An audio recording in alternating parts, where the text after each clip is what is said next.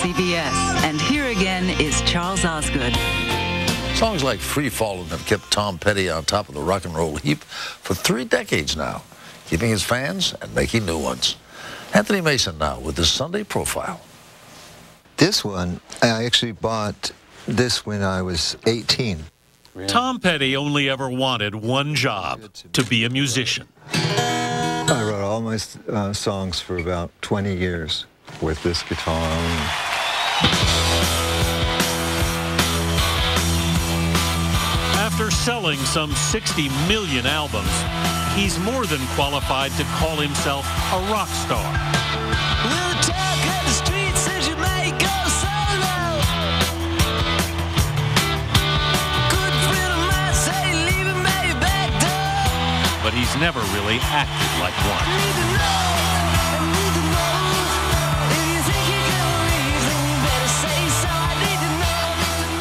You have this image as being a very kind of laid back guy. I'm not that laid back. I'm I'm pretty determined and I have a lot of energy, but I just don't always speak unless I have something to say. I, Mm-hmm. it's I, I don't court the limelight really.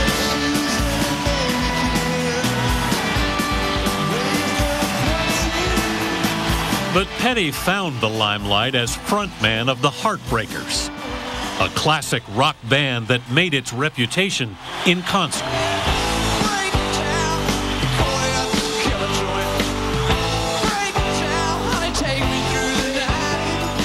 The evidence is on their new live anthology, which covers three decades of Heartbreaker performances.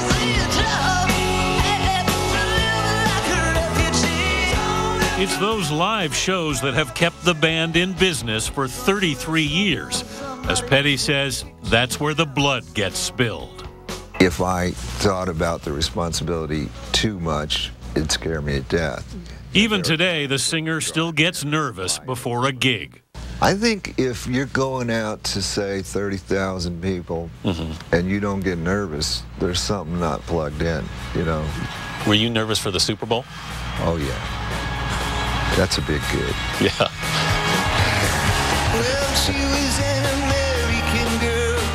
His biggest, nearly 100 million people watched during the halftime show last year.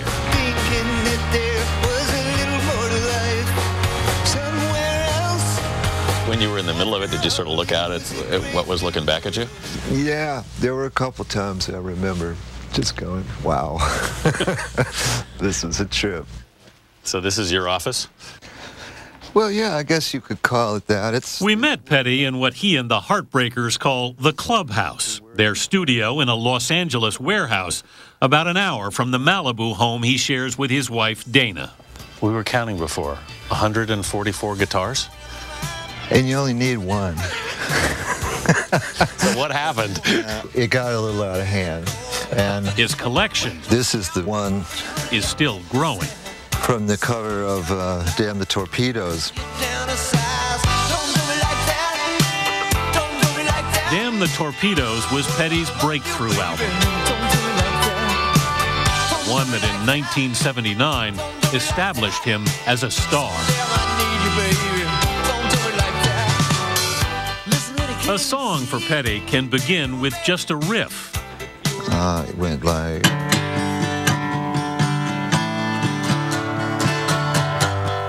That's how he started his 1981 classic, The Waiting. That's all I had, see? I did that for a week. and then finally I'd hit the waiting is the hardest part. Every day you see one more card. You take it on faith, you take it to the heart. The waiting is the hardest part. Do you know when you've written a good song? Not always. The bees are the dangerous things, you know. Because they can sometimes They can act like A's. sometimes look like A's. Yeah. And when do they finally reveal themselves? Well, in the recording, you, Yeah. you get you get a little. If a bee's sitting right next to an A, Uh-huh. it it just can't pull it off. Can't hide. Yeah. Yeah,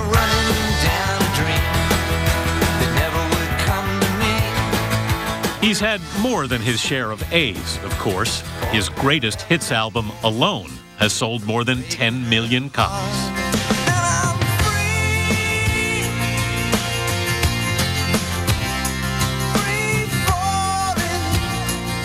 You were never ashamed of commercial success.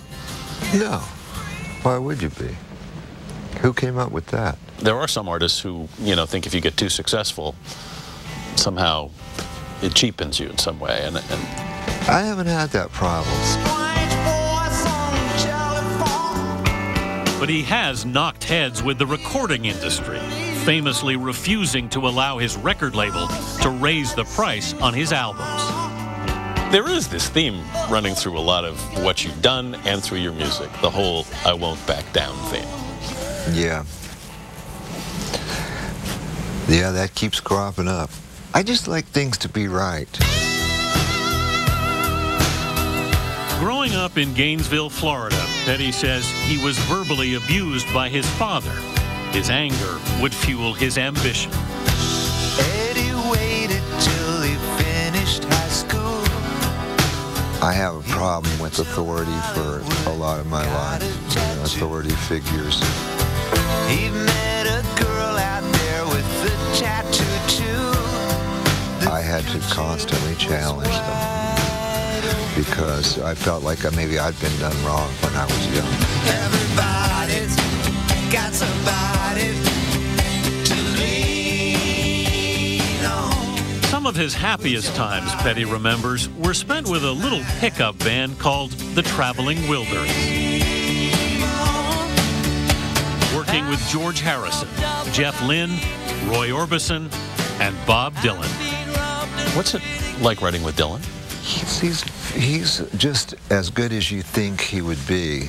Know, I was there for a reason, so I had to get past his bobness, you know. It's Bobness. You know, I had to. well, how do you get past that? I mean, it's got to be intimidating sitting down with him. Well, he's. It is. But he's a person. Petty says he felt more like a person in the Wilburys. That was the greatest luxury, was to not be the one guy with the spotlight on you. You know, George was the same way. He never wanted to be out front. And we used to talk about it a lot. Former Beatle George Harrison became Petty's close friend. You've described him as one of the funniest people you ever met, Yeah, he was very fun. which is not how I think of George Harrison. Oh, he had such a amazingly keen wit.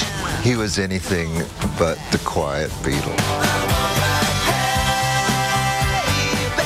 Harrison later sang backup on one of Petty's best known songs, I Won't Back Down. And he actually made a contribution about one line, or at least said he didn't like one line. What- what happened? Well, the line got changed to There ain't no easy way out. Right. At, at the time, I didn't have a, a line there, and I kept singing, uh, I'm standing on the edge of the world. And he, he said, hey, that doesn't get it. You know, you, what's with that? You know, So he called you out on this he line. well, he, that's the way he was. The thought went through, it, it came out. and you changed the line. Yeah, it made the song better. Petty's music, which has its roots in the 50s and 60s, somehow sounds timeless. But Petty knows he isn't. You have a birthday coming up next year that some people might consider to be pretty big. 60. You say it easily. Yeah, well, you know, if you're not getting older, you're dead.